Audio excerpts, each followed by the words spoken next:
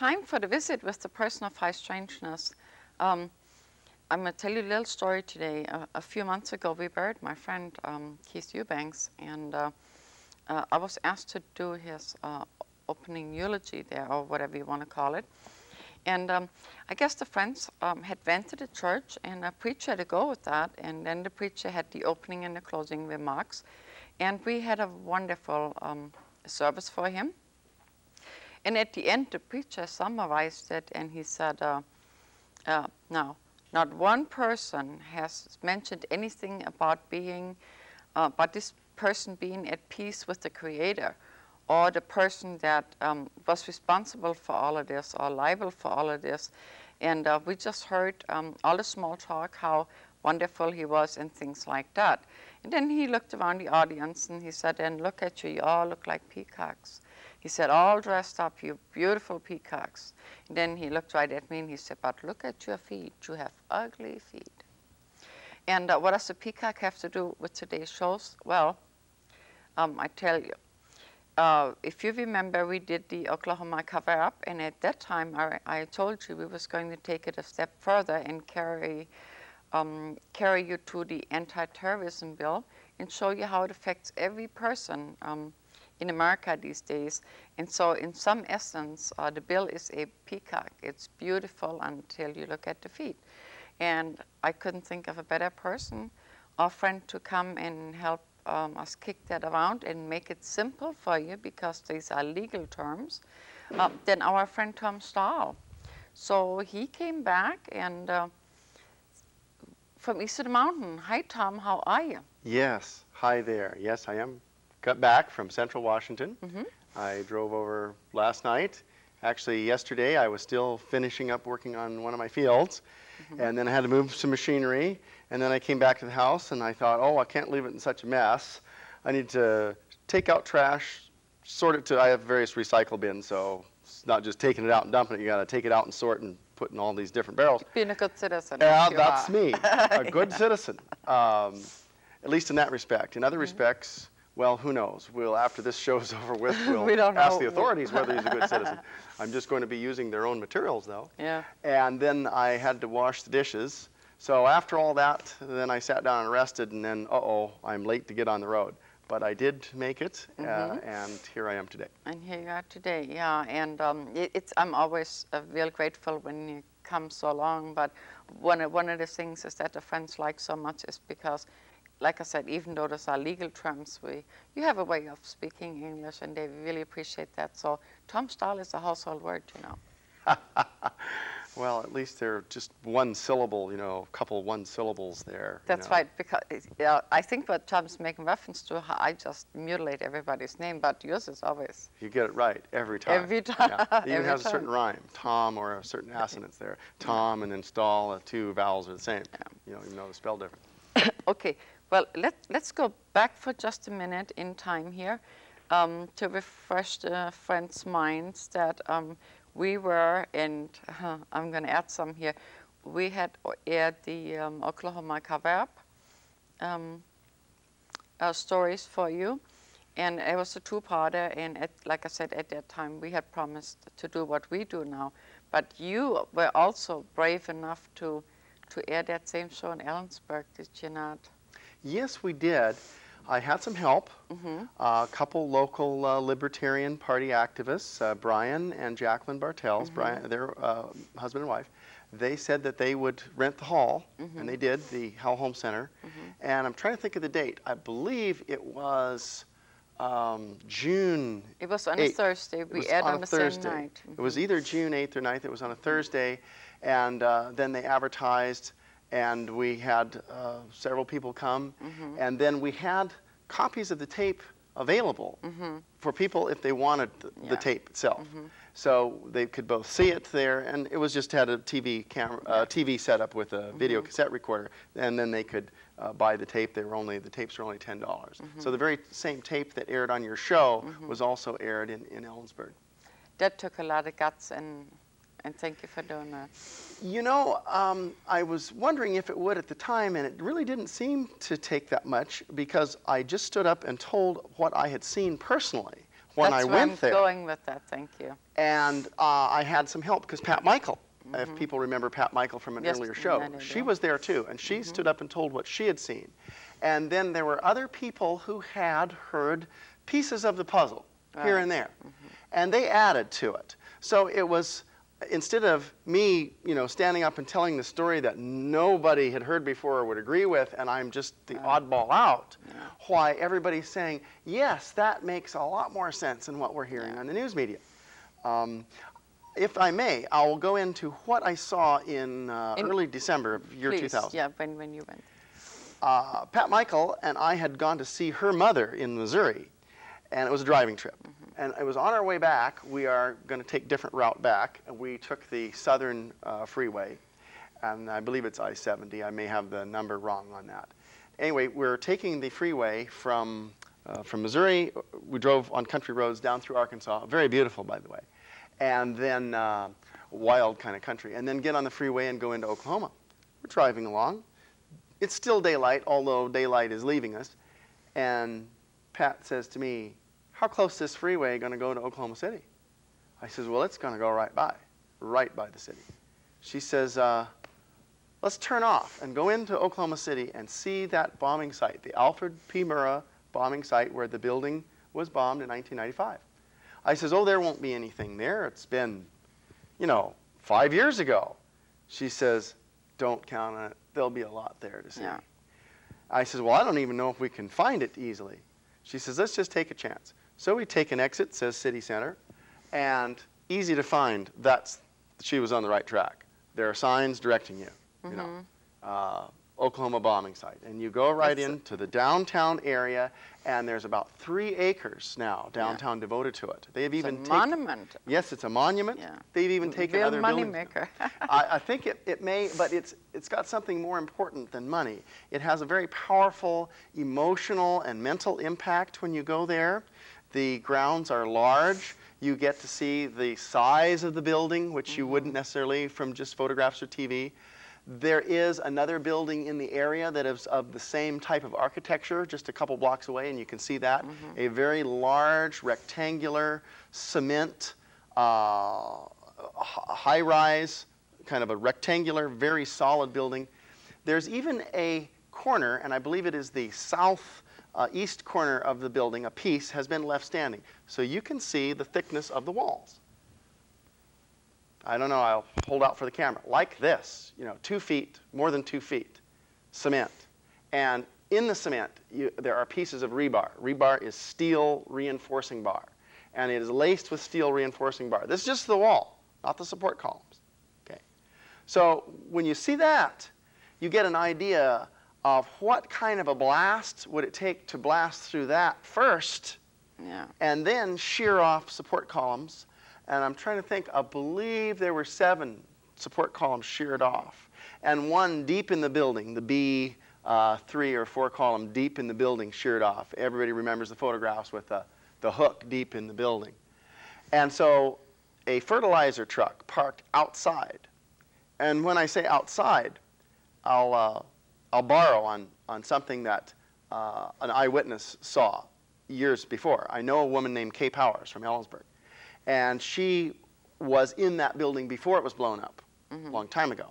And she said there was a, on the north side of the building where the parking lot was and where the truck supposedly was parked, she says you can't park right next to the building.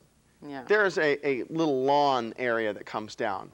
You're away from the building, see? So you're parked, you know, what, 20, 30, 40 feet away from the building.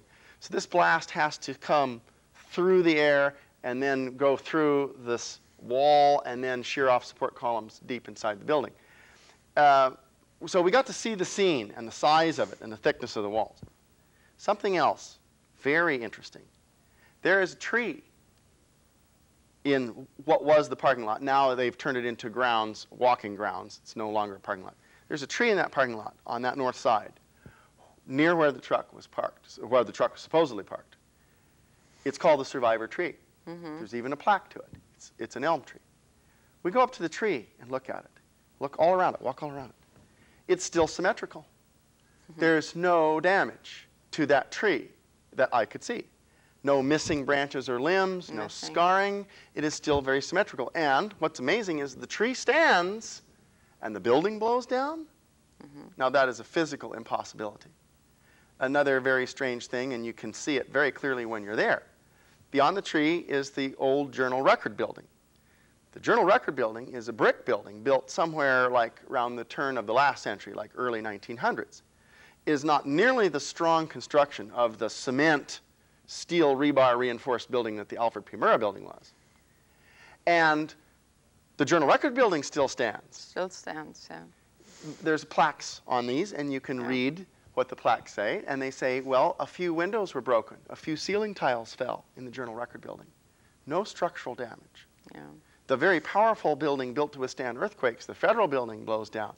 Well, what is, what is the conclusion? Well, I won't uh, say it just out of my own mouth. I will let a couple other people who were there.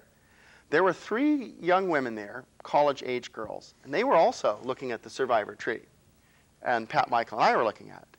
So I turned to them and I said, Do you believe that a fertilizer truck, a fertilizer truck bomb parked outside, blew that Murrah building down and left this tree standing?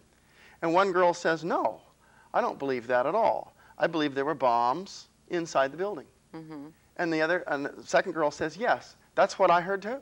Mhm. I said, Well, where are you folks from? They said, Well, they were from Florida. hmm They didn't ask any more questions than that. But I, I'll, I'll stop here because you may want to have questions or comments. I've rolled on Well, quite a ways that's here. okay because I'm going to blow you right into the um, uh, anti-terrorism bill because that's what today's show's all about. Yes. Okay. Uh, before I go to that, I want to say one more You're thing. going to blow back this way. Yeah, I'll go back this way. Just one more thing. I have at this point now talked to three people who have had experience, personal firsthand experience with explosives and or construction. And every one of them says that this idea of a fertilizer truck bomb parked outside away from the building, shearing off those columns inside, that that is a, a and I'll put it bluntly, a crock. Mhm. The first man is Leroy Livermore of Global Pacific Lumber.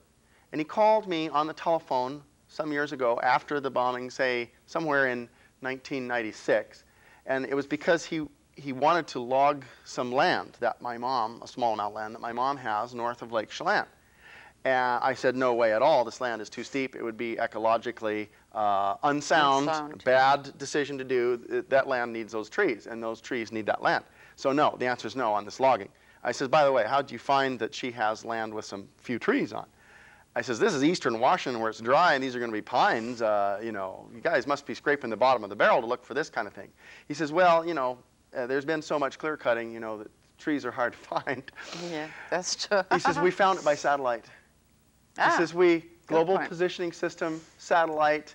Uh, he says, our company scans, uh, has satellite services or uh, contracts to have Mm-hmm. them, and we scan the area from satellite, and then when we get an area, we can use global positioning to get the exact coordinates, and then we go to courthouses and look up and look up who owns it and then we give you a call. Mm-hmm. And so um, I says, I want. I says that's very interesting. I mean, spy in the sky kind of thing. um, that'll lead me to another thing, but I don't want to go off on a tangent. So I says, Mr. Livermore, you're involved in logging. Have you ever worked with explosives? He says, yes, quite a bit. I says, I want to ask you straight out, what do you think about the government's fertilizer truck story in the Oklahoma City bombing? He says that story is a crock. Crock, Yeah, this Says, is "Do you public access. You can okay. say that. I, I can't say that. I won't say that. That story is all full of holes. Uh, let me put it that way then, if we can't say what he said. He says, Do you want to know why? I says, Yeah, I want to know why. He says, Okay. He says, If you've got a stump to blow out, and he says, I've blown out stumps, I've blown out boulders. If you put dynamite, and he says, Now, dynamite, remember, dynamite is a more powerful explosive than ammonium nitrate fertilizer. Much more. If you put dynamite on a stump, under a stump, or drill the stump, put dynamite in the stump, you can do what you want with it. You can lift it, split it, atomize it. You can do what you want. But no amount of dynamite placed away from that stump yeah. so that the blast has to go through the air to get to that stump will do any more than scar that bark. wow. He says, you know, a, a fertilizer truck bomb parked outside is gonna break glass, rattle things, make mm-hmm. noise. It's not gonna get through those walls, and even if it got through the walls, it would not have the power to go on through and, and shear the columns. Yeah. And so I says, well, there's a formula on this because I had heard General Partin, I had heard General Benton yeah, Partin we, speak. that was part of the. That was part of it. You know, how it falls off at the inverse cube of the distance. You know, 1 over the distance cubed. That is a very small fraction if you get any distance away. Yeah. The power of the bomb falls off. So that's Leroy Livermore. The second man, and it's very recent, it was uh, this spring, I talked to a man named John Whiting from Adrian, Michigan. He's an ex-Army man, and he was a CB. He said, I was a, and I think I have the numbers right, I hope. He said, I was a CB-30. He says, CBs are engineers in the Army. We do a lot with explosives. You know, we got to level things, smooth things out, move things out of the way. He says, ammonium nitrate. He said, I've used ammonium nitrate. It is not a cutting charge. I'll tell you what I mean by cutting charge. It cannot cut steel. It does not have the brisance, is the technical term. It does not have the brisance, the actual velocity and force to shear off steel. It cannot cut the steel rebar inside the Murrah building. Therefore, it cannot shear the support columns. Probably mm-hmm. could not even go through the walls. It's a low velocity, slow moving. If you bury it in the ground, it will move earth. He said the only way ammonium nitrate could have actually take that building down is if you dig a big cavern underneath the building, fill it with ammonium nitrate, and shake the earth so much that you make your own earthquake. Yeah. He says, and nobody's saying that that was done. He, I said, well, how do you think it was done? Sean Whiting, ex-army man, says it was done by charges, explosive charges placed on the support columns. yeah. That's how it was done. If there was even a fertilizer truck, why, it's a decoy. Yeah. Um, the third man was um, a construction worker. He was operating a bulldozer, and he was doing some work on my farm just uh, a couple weeks ago. He works for uh, Pipkin Construction. His name is Gary. Don't know his last name. I, we talked quite a bit, and I never got his last name. I just happened to mention it in passing and asked what he thought about it. He says, oh, uh, there had to be charges placed on those columns. You, you can't blow that building up by something placed outside. You know, I was really surprised how um, how well received um, these shows were because uh, uh, as a people, we actually can think. Yes. And it means that maybe all the chemistry degrees and all the physics degrees out there can actually be put to use if someone just flips that switch and says, turn that on. You actually have the knowledge Yeah. to be able to figure these things out. Don't just blindly swallow what an authority figure or someone on major news media tells you.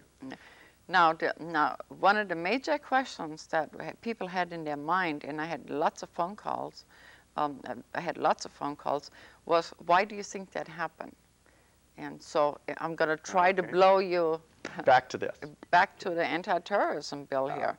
Um, and you know, it's really okay because if we can do it all in one hour, rather than just have bits and pieces, we can do it. Uh, we, we can make it a two-part. It's not Okay, a problem because it's important that the average citizen knows what it is that Okay. and how it affects them. I'll go, I'll go slow Mm-hmm. on this.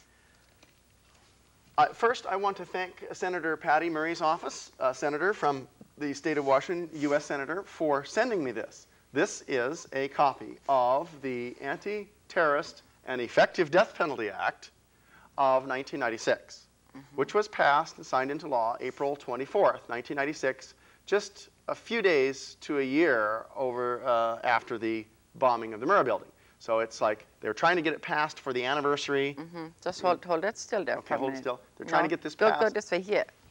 Go this way. Go that way. Okay. There you We're go. Over there. They're trying to get this passed uh, on or about the anniversary. Uh, in politics, anniversaries mean a lot. And so this is the bill. It is about a 150-page bill.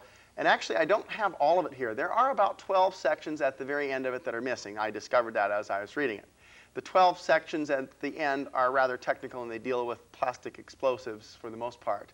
And they're not, uh, So they're missing, huh? they're missing. Not, not critical. It'd be interesting to see those actually. But Yeah. most of it is here. And something that's also here that's very important, I found very useful, is a commentary by Charles, and I'll get his name exactly here because I'll just turn to it. There's a commentary. So don't know if that came directly from from uh, her office. Yes, it did, from Mm-hmm. Washington, D.C. Would you happen to know if that's available on the internet? Yes, it is. It is, And I can give you the website. Okay. Uh, I'll, I'll read the website uh, and I'm not good at reading websites, but I'm going to Well, read I it. am. I'll do I'll so. read it. Okay, here's the website. Go ahead and read that website so people can get it, because that's what I think her staff did, is just get it off the web. Congressional Record, it's part of the Congressional Record. Okay, I'll read it. www.fas.org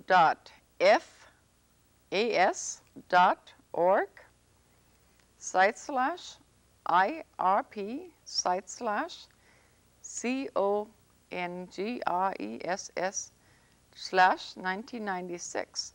Um, so I would assume that stands for um, organization uh, and then the, the Congress records of 1996, and that's where you would find that.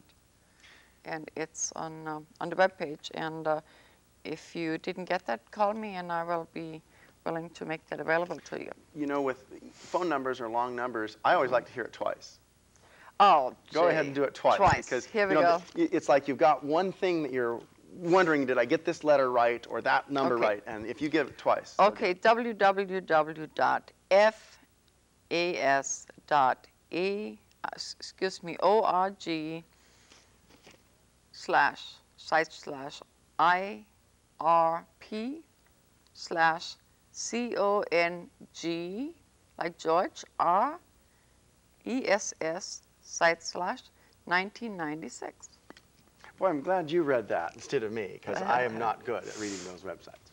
Okay. Well, uh, I want to thank Patty Murray's office for sending this to me, and I would also like to thank the man who wrote the summary. Um, and I believe he's somebody official. It's Charles Doyle. Charles Doyle wrote the summary, and he's a senior specialist with, with uh, something called the American Law Division.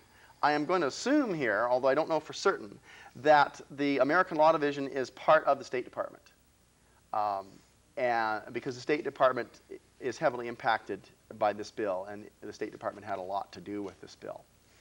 Now, I'm going to read um, one of the things he says here to lead off here. He says the this sentence: "The bombing of the Alfred P. Murrah Federal Building in Oklahoma City, and to a lesser extent the bombing of the World Trade Center in New York, supplied the most obvious stimuli for this bill's enactment. This is a brief summary of the act. Um, this bill was first, uh, this act has several sources. The first of the major comprehensive terrorism bills in the 104th Congress, and this was passed by the 104th Congress, the public law reference to this bill is Public Law 104 132. Okay, the legal reference is Public Law 104, uh, Public Law 104 132. That means it was passed by the 104th Congress. And it was also known as S-735, meaning it's Senate Bill 735.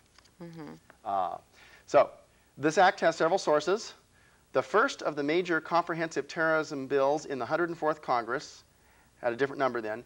H.R. 896 S390 was introduced on behalf of the administration, that means President Clinton, on behalf of the administration on February 10th, 1995. Hmm. Well, that's two months before the bombing.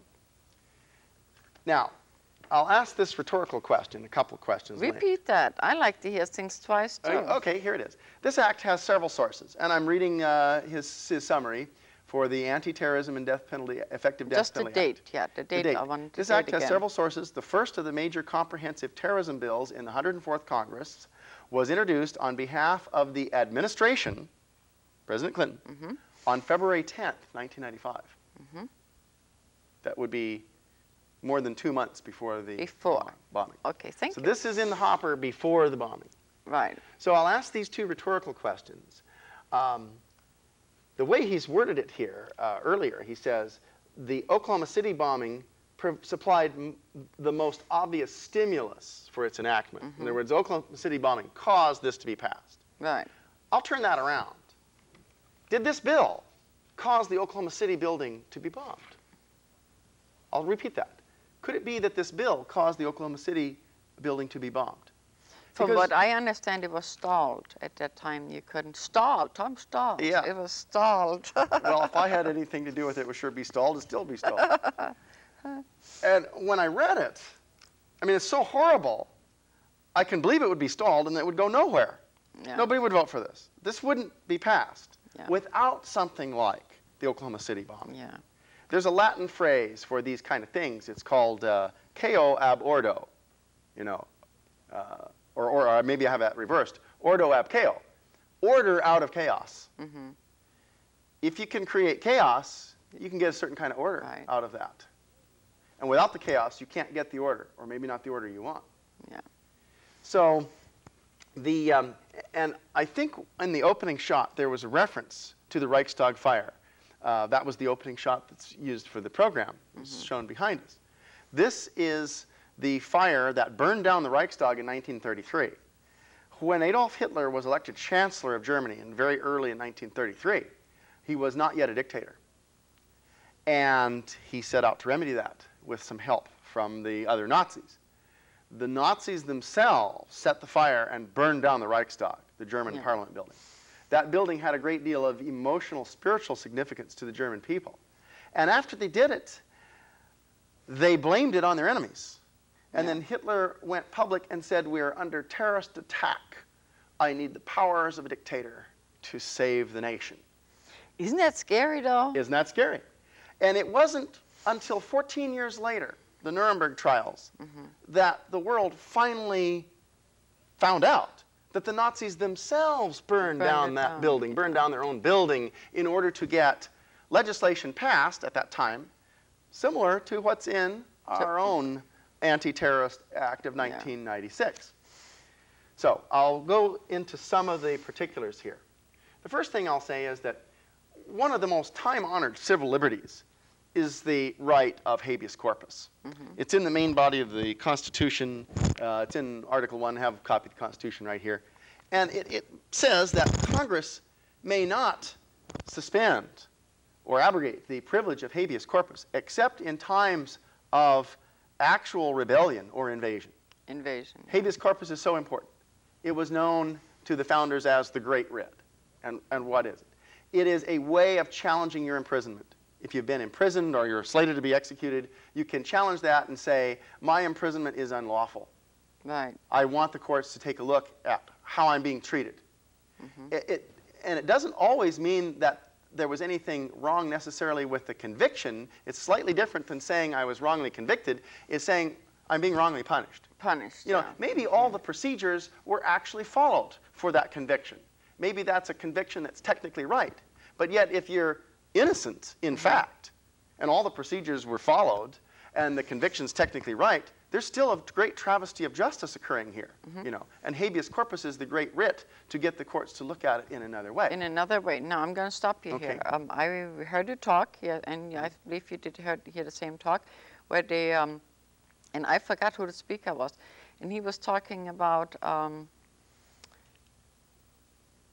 the uh, the musical Les Miserables, where when we watch that, it is so horrendous how uh, this man stole a loaf of bread, and he got all his time, 19 years, I believe it was. yes. And then the speaker went on to explain that is when he when he got the um, when he got the bread and he had to push someone to run away.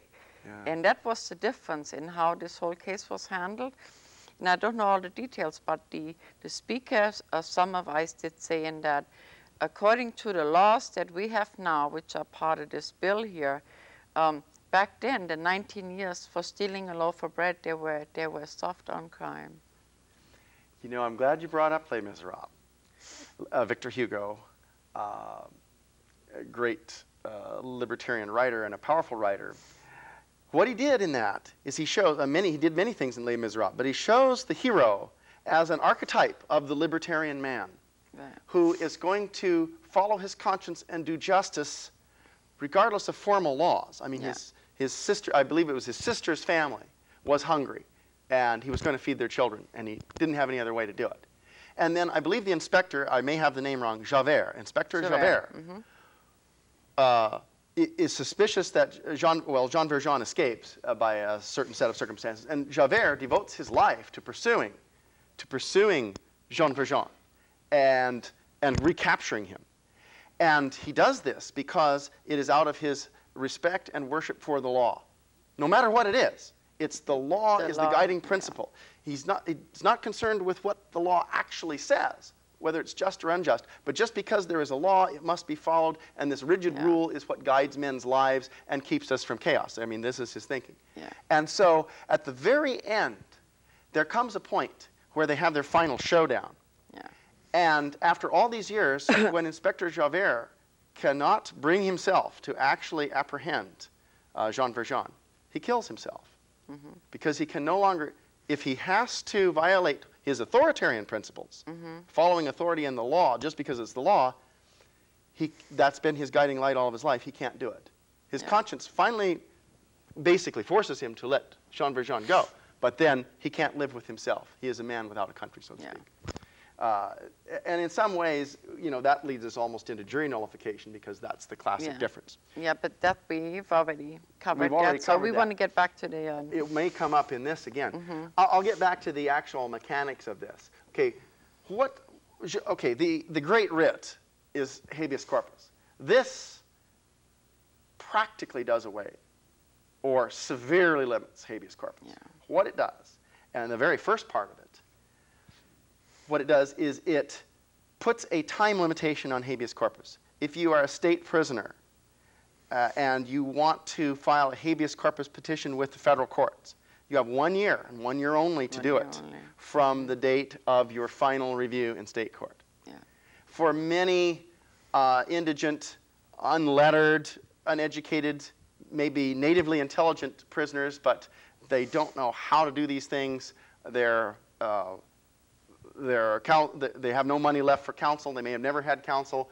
This is a practical impossibility. It's a possibility. Sometimes they, some of the papers get lost. Sometimes they are still in transition from the holding places to the actual prisons or penitentiaries they get to.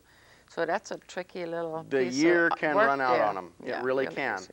And the, um, it it changes habeas corp- federal habeas corpus rules from you are able to file habeas corpus at any time as justice requires, and the courts have a, a right and opportunity to look at your case. Doesn't mean you're going to be successful, and they dismiss a great many of them, but still you have the opportunity. You can do it. This puts an absolute one-year bar. Uh, and I believe that bar is the same also, a one-year bar for federal prisoners trying to file a federal habeas. yeah. Then, for death penalty cases, if, if instead of just imprisoning you, they're trying to kill you, Yeah. six months. What? Only six months. If you're a state prisoner, you got to file that habeas within six months. That, does it explain why? Well, it, it does. Uh, the commentary explains why. Uh, the, uh, Charles Doyle says that we have this, uh, this backlog of people on death row. At the time he's writing, 3,000. Yeah. he says every year about 300 more are added to death row. But yet only 50 are being executed. We have a bottleneck here. Uh, we've got to somehow open the floodgates and get more executions. He's very blunt about it in the summary. Yeah. In order to get more executions. And Yeah. I don't think anyone in the public uh, would uh, disagree with this. If you get more executions and you start getting a flood of them, you're going to have innocent people executed. I mean, I think we've all seen in the papers where I Yeah, believe it was the state of. Illinois had to let about uh, half their people off death row because, and no thanks to the police, but thanks to independent uh, news reporters and I believe a Catholic priest and some journalism students, they discovered half of them were innocent in Yeah, fact. ac- actually, they, they did. Uh, it, And they have a moratorium. Yeah, right? not not only did they, you know, um, change their sentences, they actually had to free them because the people didn't do anything at all. Didn't do anything at all. Uh-huh, Yeah. So that that's pretty scary to, um, for something like that to limit. Uh, um, to the, the lady, what is her name? The one that was on death row. I'm trying to put Oh, a face on know. what we're talking to here. Yes, and she was She here was- in this area yes, here. Oh. she was, and and um, uh, we're gonna do. We, we will bring do a show with her. She And her was she was on death row. Actually, he got he got executed. And her husband was Mm-hmm. actually executed. Yeah, they were. Um, oh God, what is her name? Anyways, they had been falsely accused uh, by circumstance, and uh, her husband was executed. And then she herself spent, I believe, 17 years before they found out she was innocent. And now, with the six months, we would have never been privileged to even talk to this lady. That's right. She would have been executed. I have a total blank to her name. I do too. I, re- I remember some of the circumstances. She and her husband were just hitchhiking, right. and they got picked up by the wrong person, Yeah. and then later tied into a crime To- to because a of who crime. picked them up. Right. And um, and I don't think even the person that picked them up got uh, uh, got the death penalty. S- a- Actually, some of the other uh, Olympia uh, shows have covered that part of it. Um, Glenn Anderson has a show. I don't remember what the name of it is, but they have they have addressed that issue. So, so if I can't remember the name of the show, call the station, and they will they will give you the information. So, You know, just habeas corpus, the uh, restriction or turning habeas corpus into a hollow scarecrow, you know, something that exists in name only, just that alone would be enough to make this bill horrible. And I'm going to cut away to something that was done with one of the victims of the Oklahoma City bombing. Uh, the way he felt he was treated and the way he felt the incident was being used. I'm going to be referring to um, an hold that article. this time. You'll hold that. Thank you. Yeah, An I'll article out of that magazine, which is the New American, the um, I believe it's a May 1996 issue of the New American, and uh, and that, by the way, is published, I believe, by the John Birch Society. It's kind of interesting how in these latter days here, uh, left and right, they both realize they have a lot to fear from the police state. You know, le- uh, John Birch Society is usually considered to be right wing. Um, many of the labor unions, and we'll get to that in a little bit, who are also being targeted with anti-terrorism, uh, you know, enforcement and techniques are yeah, we're gonna make this a two-parter because I guess we yeah, are. We're probably already have Yeah. gone through a half hour of time here. Yeah. I want to read this out of that. Um, and I'll, I'll read. There's a man named Bud Welch. Okay. Bud Welch lost his 23 year old daughter, Julie, in the Oklahoma City bombing.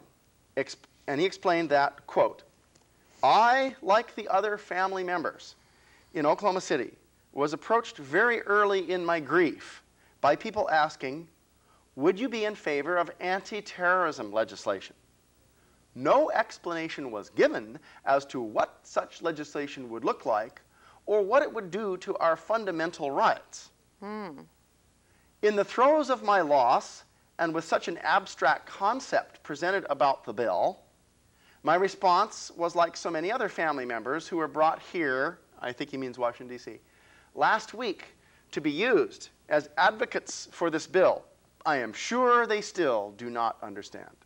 End of quote. Text of the article. After learning the contents of the terrorism bill, Mr. Welch became a vehement opponent and expressed his disgust at the manipulation he suffered at the hands of Washington insiders. Quote, it utterly galls us as a family, so devoted to my daughter, that our loss is being used as a political football for politicians eager to posture themselves as tough on crime to reap some political advantage, and to do the bidding of already powerful agencies who have demonstrated their inability to responsibly exercise the enormous powers they already possess. End quote. That's in. Uh, that's first time I've heard it, this one here. Thank you for sharing that. I thought that would be mm-hmm. powerful. And to go along with that, there was a representative at the time, I think he's still there in Congress, Phil Crane. And he noted in the congressional record that the letters and calls from his district were nine to one against this anti terrorist Yeah. legislation. But the stimulus was so great of all these people being killed, mm-hmm. murdered by this bombing. And then the grief stricken relatives were there, and the media you know, focusing on it, that, you know, what Grassroots America wanted, I think kind of got lost. Yeah. Now, as a layperson, um, what do you think the purpose? Of, well, we we sort of know what the purpose was, but um, what I, where I want to get with this eventually is how does it affect all of us? Because it does affect our everyday life. It does, and I'll, I'll go to another, and of course, habeas corpus, if you ever get to in a position where you might need habeas corpus, it's going to affect you there. But how would it affect somebody, let's say, short of habeas corpus? Uh, some people in this country are aliens, meaning they're not citizens. They may be resident aliens, they have a right to be in the country, but they are not citizens.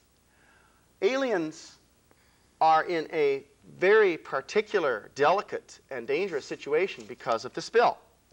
I, I also want you to note, all the people who are watching this, that if you read your Constitution, you'll note that the Bill of Rights talks about rights belonging to persons, Right. not just citizens, persons. meaning human beings, have rights. And, and that would include aliens. And we have to remember that at the time the Constitution was written, uh, a great many of the founders, you know, had lived part of their lives as British subjects. They were not Right, American yeah, citizens. A lot of immigrants. And there would be a lot of immigrants coming in just recently who were not citizens. And so, you know, the, the issue of protecting everybody, not just citizens, uh, was solved by using that term persons. Persons. And another interesting issue is the term persons protects people regardless of age. You have to take a strict view of the word person. It doesn't mean, you know, that a person under 18 or under 16 or under 10 has lost all the rights. Uh, which leads you to wonder about some of our juvenile statutes and why they don't get juries and why they don't get a lot of their other rights. But I'll get back to aliens. This bill has provisions to allow the Attorney General to apply to have an alien removed under a special new court called the Alien Removal Court, have them removed from the country. First, this bill creates this new court, the Alien Removal Court. It Oh, creates they it. didn't have one of those. They did not have oh, one before. see. It creates a special court Excuse me. of judges only, Mm-hmm. no juries. The judges are chosen by the Supreme Court Justice, that would be William Rehnquist at Mm-hmm. this present time. He chooses five federal district court judges. And these federal district court judges are available to sit in what is now known as Alien Removal Court, and it will be located, or is now, in Washington, D.C. At the time the Attorney General files an application to remove an alien with this special Alien Removal Court, remove them from the country, the Attorney General can seize the alien physically, put them in custody, arrest them, right. put them in detention, put them in jail. And then the hearing or trial it comes before this federal judge in Alien Removal Court. The rules of evidence are, uh, do not apply, so therefore the evidentiary rules are relaxed, meaning evidence comes in that would in a normal trial be considered unreliable, such as hearsay evidence. But that's mm-hmm. not the worst. Secret evidence comes into this court, meaning classified information that the government has. Information that the government does not want in the newspapers, that the government does not want to reveal to the alien himself who's going to be removed or being accused of being an alien who needs to be removed. The, the term they use is alien terrorist. The alien to be removed is uh, labeled an alien terrorist by the Attorney General. And you're probably wondering, well, what does that mean? I would Uh, like to know, because yeah. the word terrorist appears dozens of times in this bill, and there's no definition. Oh, whoa. Now, I'm sure terrorist is defined in other parts of the U.S. Code. But let me interrupt not in you here. bill. Let me interrupt you here. Um, as an alien, I thought you'd be interested in this particular Uh, section. Thank you. Yeah, as an alien, I was uh, from the Constitution that I learned, you know, as I um, did that. It was that you can always also, you know, uh, you have the right to ask your accuser what, about the evidence and everything. And now you're telling me that that no longer applies? Well, there's some interesting tricks done here. Um, number one, they categorize the alien removal procedure when the Attorney General labels somebody as an alien terrorist. And that doesn't mean you've actually blown anything up or plan to do that. Uh, it can mean it's very nebulous. They do not define terrorist. Yeah, they don't have to explain to They you don't have what to explain to you exactly what their evidence is against Yeah. you. They have to write a summary of it. But the actual evidence, if it's classified evidence, it is seen only by the judge alone, ex parte in camera. Those two terms, two Latin terms, mean ex parte without the parties. Mm-hmm. Okay, in camera means in his chambers. In the judge's office with nobody else but the judge and the government police agencies. Mm-hmm. So it's not truly ex parte. I mean, the government side is there. It's mm-hmm. just the attorney for the alien is not there. The alien is not there. Nobody on his side is there. Oh, my. And then the judge makes his determination. And what is the standard? Always important to know in court proceedings what the standard is. This is categorized, and by the way, it's section 401 in this bill. Section 401 is the alien removal court and alien removal procedures. Section 401, and what it does is actually adds new sections to the Immigration and Naturalization Act. It adds a series of new sections to it. You know, these the way these bills are like kind of like um, a, a web of threads. Uh, Congress will pass a bill, and then it has threads that goes out to other laws already existing and changes them. And so the threads Right. go everywhere. It's why it's important to get this. You Right. find it all from going to the U.S. Code. Yeah, yeah. Easily. Just when I want to say something.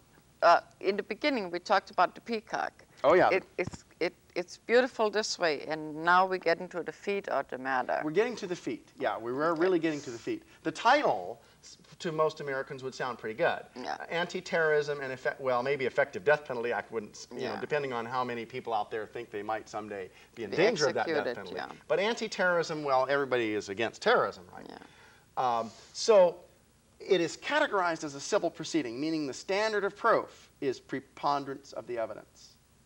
There are three standards of proof for trials. The civil standard and the lowest standard is preponderance of the evidence. That means more likely than not.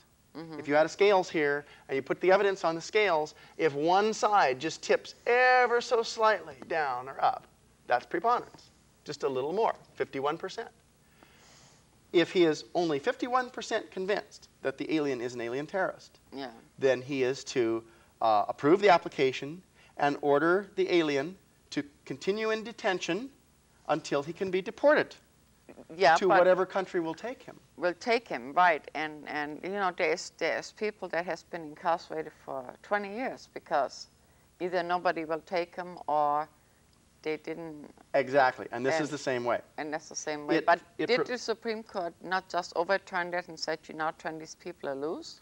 Well, you know, there, it depends on what statute they were looking at. There is a maze, as Claire Wolfe points out in her excellent article, which is where I got the citation for this, Mm-hmm. I'll landmine legislation. You want to hold that I'll up? hold it. Claire Wolfe, uh, Claire Wolfe. an iconoclast author who was not afraid to go up against the establishment. This was uh, printed in the uh, summer supplement to a book catalog, Loompanics Books. Loompanics is in Port Townsend, right here in Mm-hmm. the state of Washington. And in 1997, they have these supplements that they publish a couple times a year to give you a sampling of their books, and they put essays in them. Mm-hmm. So it just whets your appetite to look at their book uh, catalog because you're going to get an essay. And her essay shows all the, uh, it's about 10 or 12 pieces of legislation that have hidden me. things in them that uh, are very bad, Mm-hmm. that most people would be shocked or horrified at. And some of these laws are very long, and even the legislators that pass the laws may not know what's actually in it. So she says if one provision of one bad bill is struck down by the Supreme Court, guess what? There's all these others. All the others. So depending on what precise bill they struck down, uh, you may s- still have the possibility of lifetime incarceration for an alien who has been deemed to be an alien terrorist by just preponderance of the evidence and never got to see the evidence against them anyway. They might be in prison for life. The, now, the Attorney General has the duty to every six months inquire if a country will take this alien terrorist. I, I'm sure it's, it's like writing a letter and saying, well, we have this alien terrorist. How would you like to have an alien terrorist? well, you know, and the country's going to say, well, no, we've got enough alien terrorists of our own, you know. Um, the average citizen. Okay, so now we've we've talked about you know that this be of, be, be, could be of consequences to people that immigrated and so on and so on. But how does this affect the man next door? Okay, here's, uh, and bear with me because it'll be a, uh, there's a series of steps to this. The man next door, and you or I, could be accused criminally. I just talked about alien removal. That's the civil part of this. Right. A civil part. There's, a, there's some criminal parts. First, the Secretary of State, I'll move to a different government bureaucrat. The Secretary of State is given the power under this bill to designate a foreign organization or group as a foreign terrorist organization. Now, once he does that, Congress can overturn that if uh, they pass a bill to overturn that. They may not even know that he's done it. He just designates a country, uh, or not a country necessarily, but it, it could be, or uh, an organization, and like you know Islamic Jihad or Hezbollah or uh, someone else, the Friends of Islam, uh, is Osama bin Laden or something, it designates them to be a foreign terrorist group, publishes his designation in the congressional record, uh, or I'm sorry, in the Federal Register, in the Federal Register, and after 30 days, it becomes effective. That organization is then a foreign terrorist organization for purposes of this law. Just without a trial, without hearings by Congress, without anything. That's what I was going to ask you now. Do, the, do these organizations or people have a chance to respond to that? Yes, they do. After it's published in the Federal Register, they've got 30 days to challenge that. Mm-hmm. And if they don't challenge it within 30 days, they're barred. So they cannot raise the issue. So they cannot say that it's an improper designation or challenge the designation. So if their email don't work, they not They're done make for it it. in time. Or if they don't hear about it. Yeah. I mean, you know, Federal Register is huge and Yeah. things are published in there all the time. And uh, which one of us reads that every day? I mean, you Yeah. wouldn't be able to do anything, eat, sleep, brush your teeth, or anything if you just did nothing but read the Federal Register. I have to take you back to where we were. Um, everyday citizens. Okay, Okay. so now you're, uh, they go ahead and they, they determine a person to come in that category. They have 30 days to respond. And then if, you know, if for some reason they missed the deadline, it's now established and then the, they, they can proceed Well, um, here's where it affects. against them. Okay, here's where it affects the average citizen. Yeah. So let's say a group overseas has been designated to be a foreign terrorist group. You know, let's say uh, Palestinian Quakers or something. But I want to go to the, my next door neighbor. Okay, your next door neighbor, if your next door neighbor materially aids mm-hmm. that foreign terrorist organization, and materially aiding is defined in this as very broad, mm-hmm. sending money, mm-hmm. sending material, sending medical supplies, sending literature except religious literature, uh, that is materially aiding. Materially aid for an American citizen or anyone subject to American jurisdiction, could be an alien living here, materially aids a foreign terrorist organization, that is a 10 year felony. And the American citizen who sent money to, say, Palestinian Quakers, uh, you know, Palestinian Quakers against Israel or something, if they send money to that group, they can be accused of a federal crime, a 10-year felony, and put in prison, if they're convicted, for 10 years and or fined $250,000 and or both. And the citizen cannot raise the impropriety of the designation of that organization. They can't say, hold it, this is an innocent organization. This organization just hands out, you know, bandages uh, to the wounded and food to the hungry and medicine to the sick. That's all this organization does. They're barred. They cannot say that at their trial. The only issue that the jury, and it would be a jury because it's criminal, the only issue the jury can, can deal with is, is this group listed? The group that the American citizen helped, materially aided, is this group listed as a foreign terrorist organization? And did the American citizen send money, food, bandages, literature? Slam dunk, convicted, on your way to prison. The guy next door who thinks he's helping the world by sending money or, or aid to some other group outside of our country uh, can be a felon and not know it. Okay, now, um, uh, we're not going to be able to cover all this because we have a very little time left. Um, now, in, in your, it's, to me, it's mind-boggling how it got from here to here and how all these little feet could have been added to this beautiful peacock here. Um, on a 1 to 10, how many people do you think are aware of what it really says? I would say that with the general public, almost 0 would be aware. You know, maybe not one in a million. There may be a few more after this TV program. After the TV. And you know, for people that want to see it on their own and read it for themselves, I'm glad you gave them the website, and they can call you and get that again if they want.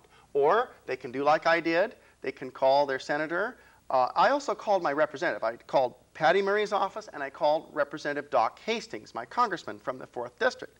And um, Senator Patty Murray came through. Representative Doc Hastings did not. We Okay. need to give kudos when they do right, and we need to give them their lumps when they do wrong. Yeah. Uh, my senator came through, and my Congress critter did not. But it is Public Law 104-132. It will also be in law libraries. It's on the internet. And your congressman and your senator, this is part of their job. You know, they should be sending you what you want. And then, of course, the next thing, maybe why they're, uh, maybe why he was afraid to send it to me is my next question to him would be, well, did you vote for this awful thing? We- We're not You going to know. go there at all. Not I can. Now I don't know if Patty Murray voted for it or not. But we're not I don't know if she was in at that time. Yeah, I could find yeah, out. mm, But that's okay. We don't have to go there at all. If she was in Congress, see, she, they passed it in the Senate by, I think, about 98 to 2. Mm-hmm. So it passed overwhelmingly, even though it would have never passed before the Oklahoma City bombing. Mm-hmm. You know, it, from dead on arrival to slam dunk, and the Oklahoma, Oklahoma City bombing changes it from black to white, It- from dead to very much alive and dangerous. Yeah, it sure did. So, um, all in all, it, it's really sort of complicated, and I, I think I want to encourage the, the viewers to make up your own mind. Look at this and uh, and keep in mind uh, the horrible cost of life something like that can cost sometimes. And uh, it, it seems like a waste because history sort of repeats itself. Sad to and say. It's very sad to say. So, as a human species, have we learned anything? I don't know. I mean, there's the famous legend, and there may be some truth behind it, of Emperor Nero, a Roman emperor. We got like two minutes. Uh, Nero sets Rome on fire and blames the Christians. I think everybody's heard that. Yeah. Uh, two minutes. I'll uh, end with this. In the commentary, in the summary, uh, Charles Doyle mentions that, uh, and there's also an international terrorist section in here, and I won't go into that. But he says one of the first acts of international terrorism well known in history was probably the Boston Tea Party. Yeah. Think about that for a moment. This bill would criminalize big time the Boston Tea Party, way more than King George ever did, and that was carried out by the Sons of Liberty, our founders. And if anyone had materially aided those Sons of Liberty, like a housewife giving them a feather because they dressed up like Indians, or giving them some makeup so they could paint their faces, why, that housewife would be guilty of being a 10 year felon under this act for and I hear music. the I'm hear music. We need to go. Um, it's been a fun show. Come see us again. We're gonna kick some more things from Tom Stahl next week. Come see us then. Thank you. Boy, did we get excited, huh? Thank you for having me. Hey, just got Boy, that excited. hour.